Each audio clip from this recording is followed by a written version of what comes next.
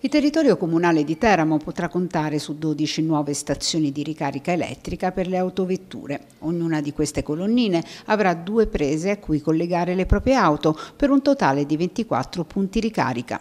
La dotazione di tali moderne infrastrutture nel capoluogo aprutino è frutto di un protocollo d'intesa siglato dall'amministrazione comunale con Enel X-Way. I cittadini dovranno ora scoprirne il funzionamento. Attualmente abbiamo installato 12 colonnine, di cui 4 sono già attive operative e saranno, sono 9 colonnine in corrente alternata, quindi diciamo ciascuna presa di queste colonnine ricarica fino a 22 kW e 3 colonnine corrente, avranno anche la possibilità di ricaricare in corrente continua, quindi eh, la ricarica più veloce fondamentalmente. Si tratta di, una, diciamo, di, un utilizzo di un servizio molto eh, semplice da, de, da, poter usufruire perché l'utente dell'auto elettrica può eh, ricaricare sia tramite le card sia tramite le app. Noi abbiamo un'app che è appunto l'app la, di, Enel, di NLX, Juice Pass. I tempi di ricarica?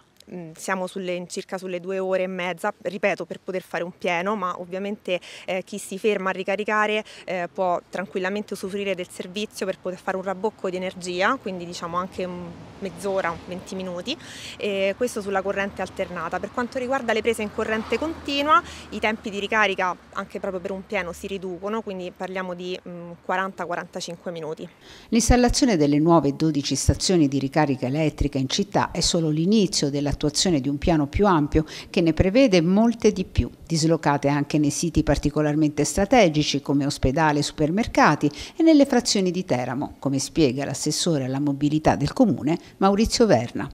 L'esigenza di questa infrastruttura, nuova infrastruttura sul territorio, eh, è stata diciamo, studiata, analizzata dal CITAM, l'Università dell'Aquila che si occupa anche di questi eh, tipi di interventi, si sono individuate 60 postazioni in tutto il territorio comunale, di cui 44 su aree, su aree, comunali e 16 su aree pubbliche, di cui appunto alcune sono in fase di attuazione come queste, arriveremo tra pochi mesi a coprirne 20 pensiamo in questo modo di coprire tutto il territorio comunale partendo dal centro alle, ai quartieri eh, della città per arrivare anche alle frazioni più importanti di Teramo.